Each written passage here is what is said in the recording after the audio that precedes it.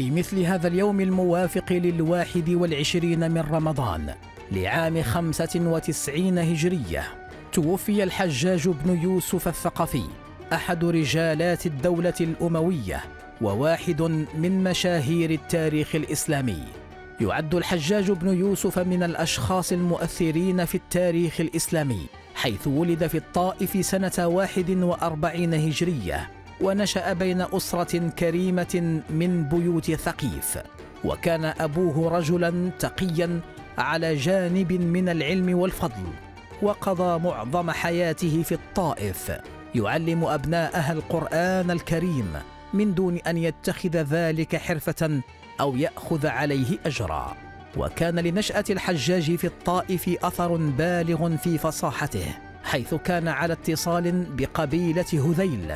أفصح العرب فشب خطيبا حتى قال عنه أبو عمر بن العلاء ما رأيت أفصح من الحسن البصري ومن الحجاج وتشهد خطبه بمقدرة فائقة في البلاغة والبيان. لفت الحجاج بن يوسف الثقفي أنظار الخليفة عبد الملك بن مروان ورأى فيه شدة وحزما وقدرة وكفاءة وكان في حاجة إليه حتى ينهي الصراع الدائر بينه وبين مروان بن الحكم بالخلافة بقيادة الحجاج. وبهذا أسند إليه ولاية الحجاز مكافأة له على نجاحه في مهمته.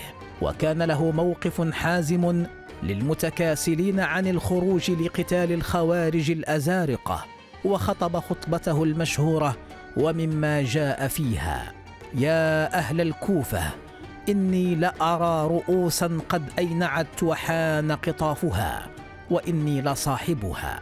وكان للحجاج بن يوسف الثقفي دور بارز في استئناف الفتوحات الإسلامية التي توقفت بسبب الفتن والثورات التي غلت يد الدولة ونجح في فتح عديد النواحي والممالك والمدن الحصينة الواقعة على حدود الصين.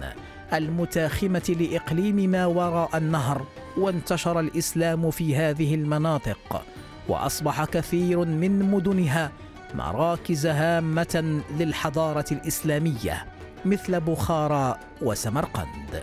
ومن أجل الأعمال التي تنسب إلى الحجاج اهتمامه بنقط حروف المصحف وإعجامه بوضع علامات الإعراب على كلماته وذلك بعد أن انتشر التصحيف فقام نصر بن عاصم بهذه المهمة العظيمة.